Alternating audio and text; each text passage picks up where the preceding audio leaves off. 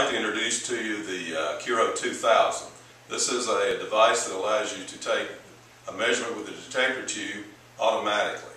Uh, what you have to do is if you have a high number of pump strokes and you don't want to sit there and manually squeeze the pump, uh, you can insert the, detect, the Accuro detector tube pump into the Accuro 2000 and program the number of pump strokes and hit the go button and it will uh, squeeze the pump for you and take the test.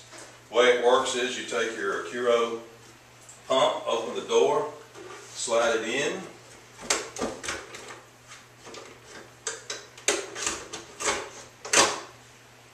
lock it down,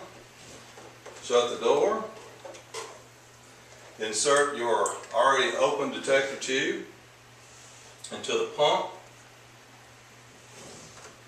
program the number of strokes, say this one is 10, you hit 10, then you just hit the go button, walk away and let it do its job.